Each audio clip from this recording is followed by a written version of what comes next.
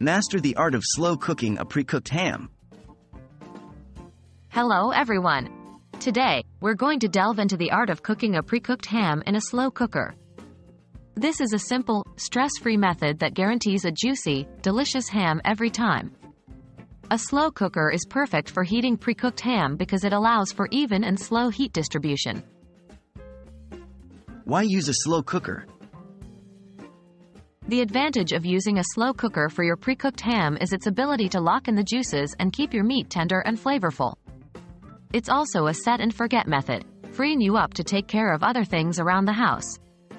Using a slow cooker ensures a moist and flavorful ham, perfect for any gathering or dinner. What will you need? To cook your pre-cooked ham in a slow cooker, you'll need a pre-cooked ham, your favorite glaze or sauce, a slow cooker remember, your ham should fit comfortably inside the slow cooker. If it's too big, you might need to trim it down. How to cook pre-cooked ham in a slow cooker. To cook your pre-cooked ham in a slow cooker, follow these steps. 1. Place the ham in the slow cooker. If your ham has a flat side, place it facing down. 2. Apply your glaze or sauce. This could be a simple mix of brown sugar and mustard, a honey glaze, or a pineapple glaze. The choice is yours. 3. Cover the slow cooker and set it to low. 4. Cook the ham for 4 to 6 hours. Yes, you heard that right. Even though your ham is pre-cooked, you need to heat it slowly to ensure it becomes tender and absorbs the flavors of the glaze.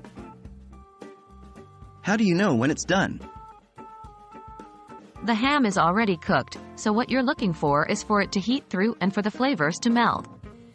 If your ham was refrigerated, it should reach an internal temperature of at least 140 degrees Fahrenheit, 60 degrees Celsius. You can check this with a meat thermometer. But don't worry if you don't have one, as a general rule, aim for 4 to 6 hours of slow cooking on low.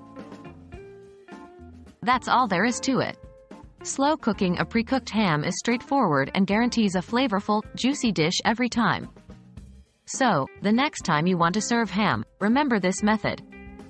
We hope this video has been helpful. Enjoy your cooking, and most importantly, enjoy your meal.